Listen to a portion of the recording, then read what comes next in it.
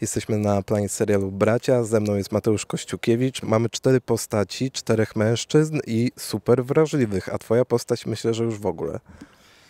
No, jest to historia rodziny, którą spotyka nieoczekiwana tragedia, która też próbuje jakoś poskładać się w całość po tym, co, co się wydarzyło. No i tak troszkę opowiadamy historię właśnie każdego z braci, naszej mamy, tego jak właśnie, jak właśnie sobie radzimy z tym życiem, które nas nagle doświadczyło. Myślę, że to dość ciekawa propozycja. Opowiedz nam trochę o twojej postaci, bo z tego co wiem jest terapeutą. Tak, Alek jest terapeutą, ale jest to dość nieoczywista postać, ponieważ mój bohater ustępuje pola swojej żonie w celu tego, żeby ona mogła się realizować, żeby mogła robić karierę.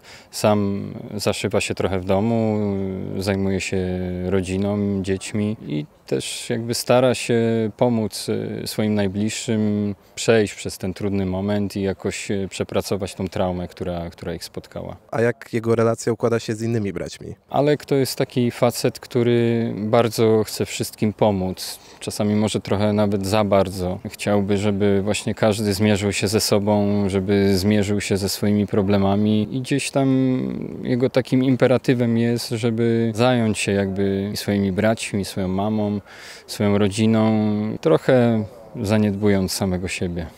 Ale to też chyba myślę tak wspaniałe takie przesłanie dla w ogóle widzów tego serialu, żeby wziąć też sprawy w swoje ręce i też przepracować pewne rzeczy w sobie. To też chyba dlatego ta postać.